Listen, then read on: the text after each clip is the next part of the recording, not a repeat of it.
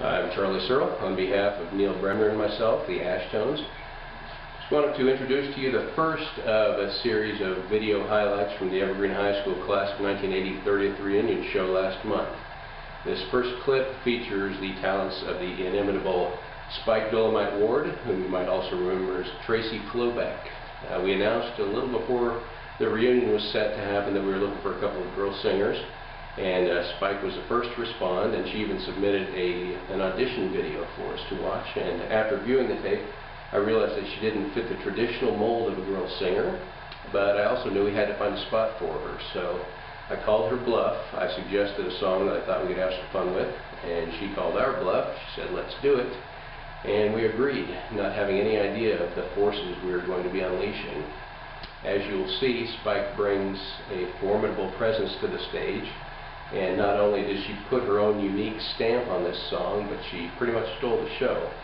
And if you were there, I know you won't forget it anytime soon. If you weren't there, uh, Amy Knapp, Robert Seelby, and some others I know wanted to be there but couldn't.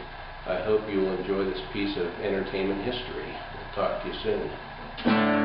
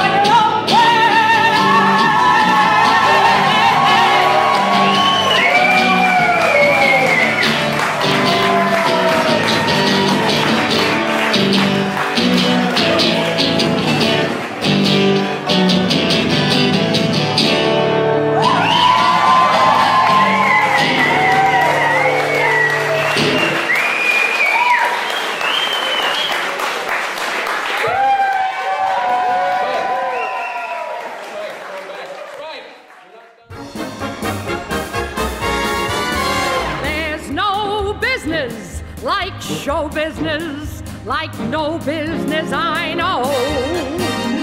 Everything about it is appealing, everything the traffic will allow. Nowhere could you get that happy feeling when you are stealing that extra bow. There's no show people, they smile when they are low. Yesterday they told you you would not go far.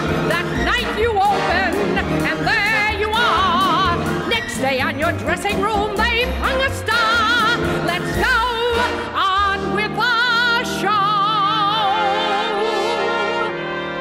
The costumes, the scenery, the makeup, the props the audience that lifts you when you're down.